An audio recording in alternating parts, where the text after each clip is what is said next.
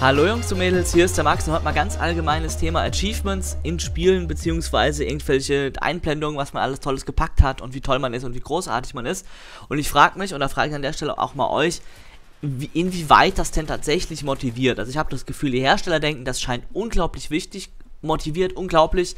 Äh, ich meine, es gibt ja alles mögliche. Es gibt äh, Steam Achievements, Uplay Achievements, Origin Achievements, Ingame Banner, Ingame Emblems, irgendwelche Unlocks, irgendwelche Waffenskins, ähm, Battle Packs im Battlelog, irgendwelche Dinger zum Anzeigen. Es gibt ja zig Dinger, ja, tausende gibt es ja mittlerweile, was man sich so an Achievements und irgendwie sonstigen Sachen anlocken kann und sich anzeigen lassen kann und sowas in der Richtung. Und mich würde einfach mal interessieren, inwieweit trägt das denn wirklich zur Motivation bei? Das heißt, müsst ihr jetzt mal ein bisschen auch mal ein bisschen in euch gehen und mal überlegen, wie das ist, denn ich kann ganz ehrlich sagen, bei mir, also es hält sich echt in Grenzen, ja, muss ich wirklich sagen. Ich meine, ich finde es richtig geil, wenn ein Spiel was gut ist, ähm, wenn einen das belohnt dafür, dass man wirklich lange dabei bleibt, ja, und es fällt ja bei solchen Spielen auch nicht schwer, weil das Spiel ist ja gut.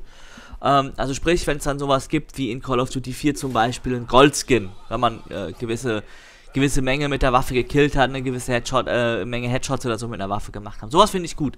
Also sprich, wenn dann das Game wirklich dafür belohnt, dass man dran bleibt, dass man auch besser wird, dass man dann einfach das Spiel weiterspielt.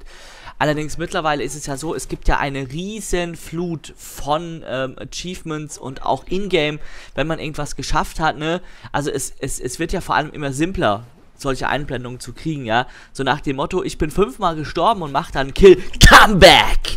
Denke ich mir auch immer, ja, okay, ob das jetzt so geil ist, dass man da jetzt, dass das, ne, so nach dem Motto, muss das jetzt echt sein? Oder so nach dem Motto, die sind ein Meter gelaufen. Ne? was fehlt jetzt ja bloß noch an der, an der Sicht. So zwei Kills und dann eine Multi-Kill-Anzeige. So, naja, gut, in gewisser Weise gab es das in Unreal Tournament schon, aber es ist halt teilweise echt übertrieben und richtig affig wird es meiner Meinung nach, wenn die Dinger so fett erscheinen auf dem Bildschirm jede Runde wieder, ähm, dass man teilweise Sachen vom Game nicht mehr sieht. Also das ist ja echt nicht Sinn und Zweck der Sache. Es gibt wirklich herausragende Sachen, die kann man durchaus würdigen mit irgendeinem Achievement. Was weiß ich, die erste Nuke mit dem Emblem oder sowas. Das ist ja in Ordnung. Oder keine Ahnung, 1000 Headshots mit einer Waffe. Irgendwie, was weiß ich, 5000 Kills mit einem Panzer und solche Sachen. Das finde ich gut.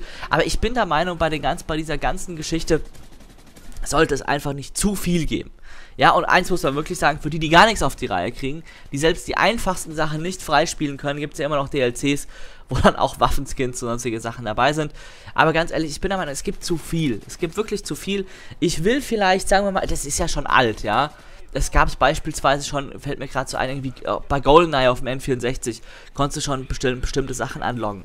Ja, das, das, oder in vielen Spielen konntest du dann quasi, wenn du bestimmte Sachen geschafft hast, irgendwelche, in Anführungsstrichen, Cheats anlocken und das Spiel auch ein bisschen anders spielen und sowas. Das ist ja halt, das finde ich ja auch wirklich gut, da sage ich ja gar nichts dagegen. Aber es ist halt teilweise echt ein bisschen viel mehr. Es ist viel lieber, es gibt, sagen wir mal, wirklich pro Waffe ein richtig schweres Achievement und dafür gibt es dann einen Goldskin oder sowas. Das ist halt cool, ja. Das ist dann wirklich was, wo du das Spiel tatsächlich drei, vier Wochen am Stück mit dieser Waffe spielen musst und vor allem halt auch gescheit, ist, da, wenn dann wirklich so Sachen wie Headshots und sowas zählen, dass man das in sinnvoller Zeit schafft, da muss man das Spiel auch ein bisschen beherrschen. Sowas finde ich gut. Und da kann man, oder, oder hier Emblems für die erste Nuke, für die erste Moab, oder, kennt ihr das noch?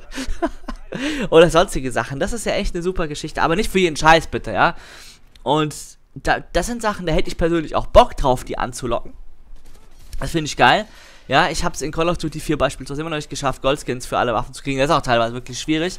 Sowas finde ich geil. Das macht dann auch wirklich Bock, wenn man sieht, hey, ich habe das Spiel jetzt drei Monate gespielt, habe immer noch eine Chance, ähm, sei es jetzt auch nur ein Service Star oder irgendein neues Emblem oder sowas äh, zu entlocken, wenn ich weiß, dass ich mit diesem Ding halt auch wirklich gut bin. Und das Coole ist halt, dass es irgendwo auch zeigt, ähm, oder dass es zu, zu, auch so dann eine Auszeichnung, ich meine, das soll ja ein Achievement sein, dass es dann auch eine Auszeichnung ist, wenn das andere sehen, dass sie sagen, boah, ey, hier, guck mal, man sieht, der hat mit der Waffe richtig gerissen, ne? Aber es ist halt einfach aktuell absolut äh, äh, Achievement und, und ähm, Unlock und Gedöns ist halt gerade einfach viel zu hart, also extrem überall. Und ich bin der Meinung, das ist einfach zu viel. Und mich würde es einfach mal interessieren, wie es euch da geht, ob euch das tatsächlich motiviert oder ob es euch nur auf den Sack geht. Ich sage euch ganz ehrlich, die immer gleichen Einblendungen, wenn irgendwie das x-te Mal das gleiche in-game passiert, motivieren mich nicht, die gehen mir ehrlich gesagt eher auf den Sack Und ähm, solche einzelnen Sachen wie Goldskins, das kann mich wirklich motivieren, aber auch nur, wenn das Spiel wirklich gut ist dahinter. Eindeutig. Erzählt mir mal, ich weiß nicht, motiviert euch das, wenn es wirklich überall tolle Achievements und sowas gibt? Ich weiß nicht. Also, es hält sich bei mir echt sehr in Grenzen. Kommt ganz drauf an, wie es ist. Also schreibt mal in die Kommentare, was ihr dazu denkt. Das war's, kurz und knackig. Macht's gut, bis zum nächsten Mal. Tschüss.